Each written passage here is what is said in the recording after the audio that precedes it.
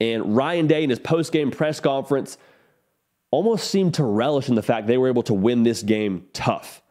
Because you know Ohio State was hearing it all off season. Ohio State's not that tough. Ohio State, yeah, a lot of talent. What do they have outside of that? Ryan Day said, We wanted to prove that we're more than just talented, we're gritty.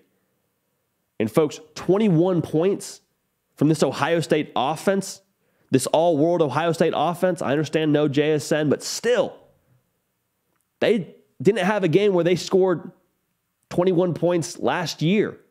I mean, they scored more than 21 in every single game a year ago, including their losses. And for the defense to hold Marcus Freeman and Tyler Buchner and Michael Mayer to 10 points, enormous victory for Ohio State to get it done in the fashion they did.